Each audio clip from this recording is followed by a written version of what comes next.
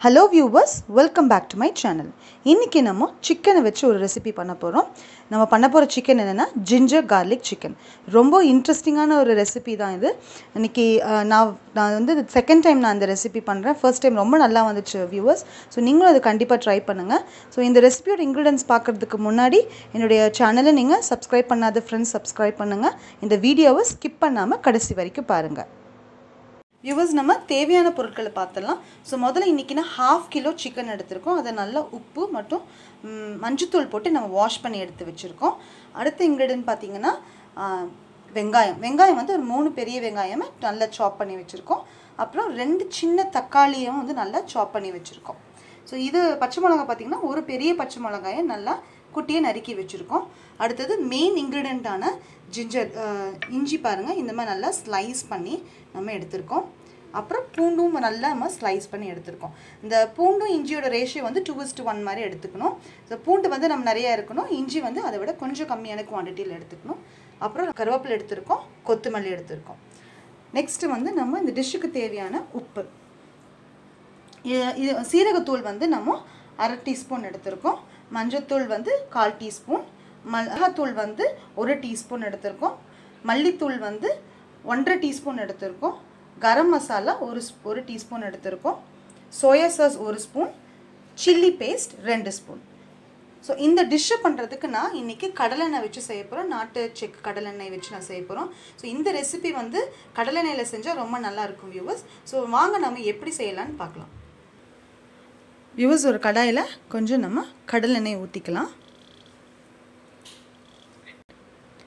மூணு ஸ்பூன் நம்ம கடலெண்ணெய் ஊற்றிருக்கோம் இப்போ நம்ம வெங்காயம் போட்டு தாளிக்கலாம்.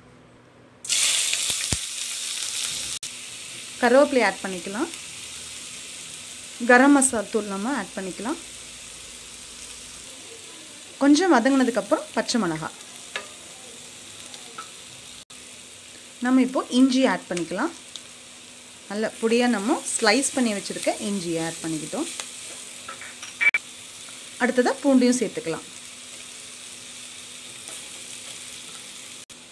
இப்போ நம்ம பொடியை நறுக்கி வச்சுருக்க தக்காளியை சேர்த்துக்கலாம்.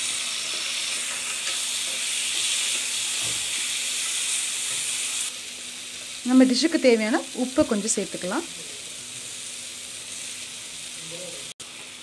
தக்காளி வதங்கிருச்சு இப்போ நம்ம டிஷ்ஷுக்கு தேவையான மஞ்சத்தூள் ஆட் பண்ணிக்கலாம்.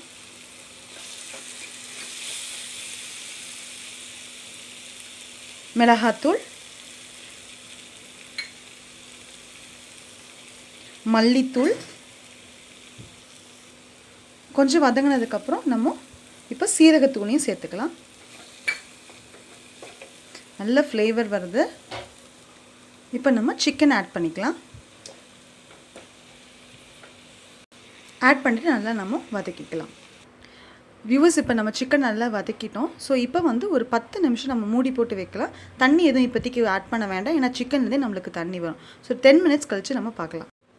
வியூவர்ஸ் ஒரு பத்து நிமிஷம் ஆயிடுச்சு நம்ம இப்போது சிக்கன் வந்துருச்சான்னு பார்க்கலாம். ஸோ பார்த்திங்கன்னா இப்போது நம்ம தண்ணியே விடலை. பட் இருந்தாலும் சிக்கன் தண்ணி வந்திருக்கு. ஸோ இப்போ நம்ம கொஞ்சம் chilli paste red chilli paste add பண்ணிக்கலாம். நம்ம எடுத்து வச்சுருக்க ரெண்டு spoon red chilli paste add பண்ணிக்கலாம். அப்புறம் சோயா சாஸ் விவர்ஸ் நம்ம இப்போ சோயா வந்து சில்லி சாஸ் போட்டு நல்லா பெரட்டி பிரட்டி இருக்கோம். ஸோ இதையும் வந்து இன்னும் கொஞ்சம் பத்து நிமிஷம் நம்ம மூடி வச்சிடலாம். இந்த டிஷ்ஷை நம்ம ஸ்லோவில் வச்சு செஞ்சோம்னா நல்லா இருக்கும். ஸோ நான் ஸ்லோவில் வச்சுருக்கேன். இப்போ ஒரு டென் மினிட்ஸ்க்கு நம்ம வெயிட் பண்ணலாம். வியூவர்ஸ் டென் மினிட்ஸ் ஆகிடுச்சு நம்ம பார்க்கலாம். பாருங்கள் நல்லா எவ்வளோ தண்ணி வந்திருக்கு பாருங்கள் யுவர்ஸ் ஸோ இந்த டிஷ்ஷை வந்து நம்ம தண்ணி ஆட் பண்ணாமல் செஞ்சால் தான் பெட்டராக இருக்கும். ஏன்னா நம்ம போட்ட இஞ்சியும் பூண்டும் முழுசாக கரைஞ்சிரும். ஸோ அதனால் நம்ம தண்ணி ஊற்றாமல் இந்த டிஷ் பண்ணியிருக்கோம். ஸோ இப்போ நம்ம திறந்து வச்சிட்டோம். இப்போ வந்து கொஞ்சம் நம்ம ஹையில் வச்சுக்கலாம்.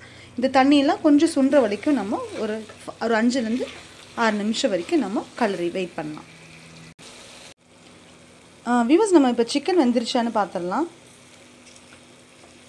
பாருங்கள் நல்லா சாஃப்டாக ஜூஸியாக வெந்துருச்சு. விவர்ஸ் பாருங்கள் தண்ணியெல்லாம் நல்லா சுண்டிருச்சு. ஸோ நம்ம இது ட்ரை கிரேவி பண்ணுறோம் அதனால் இன்னும் ஒரு ரெண்டுலேருந்து மூணு நிமிஷம் கூட நம்ம ஸ்டவ்வில் வச்சுக்கலாம். ஸோ நம்ம கடைசியாக கொத்தமல்லி கொஞ்சம் சேர்த்துக்கலாம். கடைசியாக இன்னுமே கொஞ்சம் பூண்டும் இஞ்சியும் நம்ம ஆட் பண்ணிக்கலாம். நம்ம ஸ்லைஸ் பண்ணி வச்சுருக்க பூண்டு இஞ்சியும். ஆட் பண்ணிவிட்டு நம்ம நல்லா கிளறிக்கலாம். கிரேவி பார்த்தீங்கன்னா தெரியும் நல்லா ட்ரையாக பார்க்குறதுக்கே நல்லா கலர்ஃபுல்லாக இருக்குது வியூவர்ஸ் ரெடி ஆகிடுச்சு நம்ம ஒரு பவுலுக்கு ஒரு பிளேட்டில் நம்ம ட்ரான்ஸ்ஃபர் பண்ணி வச்சுக்கலாம். வியூவர்ஸ் நம்ம ஜிஞ்சர் கார்லிக் கிரேவி செம்மையாக ரெடி ஆகிடுச்சு ஸோ ரொம்ப நல்லாவும் கன்சிஸ்டன்சியும் அது டெக்ஸ்சரும் பார்த்தீங்கனாலே தெரியும். நல்லா ஜூஸியாக இருக்குது அண்ட் ட்ரையாக கூட நம்ம இன்றைக்கி பண்ணியிருக்கோம். ஸோ ரொம்ப நல்லா இருந்தது. நானும் டேஸ்ட் பண்ணி பார்த்தேன். ரொம்ப டெலிஷியஸாகவும் இருந்தது. ஸோ கண்டிப்பாக இந்த ரெசிபி நீங்களும் ட்ரை பண்ணுங்கள் ட்ரை பண்ணிவிட்டு எனக்கு எப்படி வந்தது அப்படிங்கிற கமெண்ட்டையும் எனக்கு ஃபீட்பேக்கில் கொடுங்க. இந்த வீடியோ உங்களுக்கு கண்டிப்பாக பிடிச்சிருக்கும். எனக்கு லைக் பண்ணுங்கள் வித் ஃப்ரெண்ட்ஸ் அண்ட் ஃபேமிலியோட ஷேர் பண்ணிக்கோங்க. சப்ஸ்கிரைப் பண்ணுங்கள் மறக்காமல் பெல் பட்டனையும் கிளிக் பண்ணிக்கோங்க. இதோட இன்னொரு இன்ட்ரெஸ்டிங் ரெசிபியோடு உங்களை அடுத்த தடவை சந்திக்கிறேன் ஃப்ரெண்ட்ஸ் தேங்க்யூ